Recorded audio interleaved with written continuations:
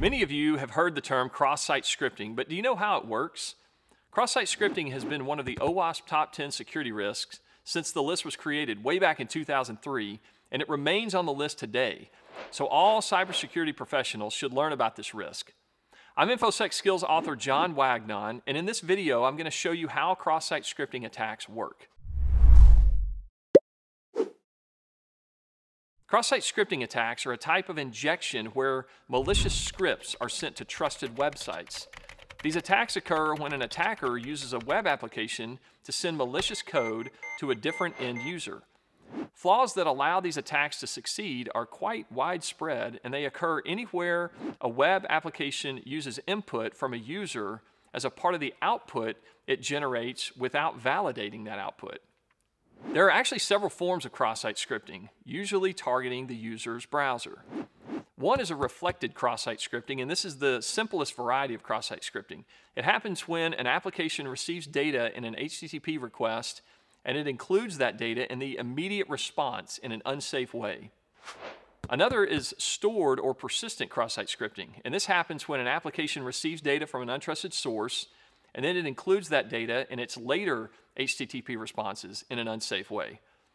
And the last is the document object model or DOM cross-site scripting. And this happens when an application contains some client-side JavaScript that processes data from an untrusted source in an unsafe way. This is usually done by writing data back to the document object model or the DOM. Cross-site scripting attacks target things like session stealing, account takeover, multi-factor authentication bypass, DOM node replacement or defacement, uh, tricking users into downloading malicious software, and even key logging.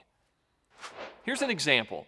Let's say a user posts a status message on a vulnerable web application saying, hello world. The web application will display this message on the user's browser the way it's intended. But if the web application being vulnerable doesn't check for proper script insertion, then it could be fooled into running a malicious script that could do all kinds of bad things. Let's use a vulnerable social media site as another example. If a good user posts a status update, it might look something like this to the application. So in this case, there's a post to a form and samplepost.php website using the HTTP protocol. The host there is socialsite.com, and you can see that the name of the user is John, and the post itself is hello world, right? And that's the way it's supposed to work.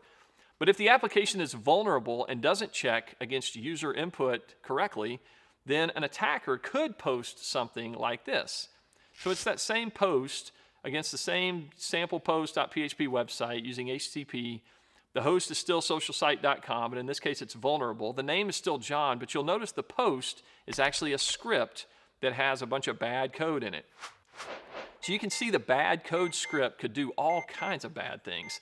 But let's say it's written in such a way that it steals the session cookie from the user and it silently sends a copy of that session cookie back to the attacker. So when an unsuspecting user visits the social media site and comes across that particular post, the user's browser could run the script and the attacker would be able to steal that particular user's session cookie and then start to impersonate that user and do anything that that user could do. This could create all sorts of problems. Cross-site scripting is a big problem with web applications today, but there are things you can do to protect against it. You can do things like filter input based on what you expect. You can also encode data so that it's not interpreted as active content. You can also use security products like a web application firewall to detect and block cross-site scripting attacks.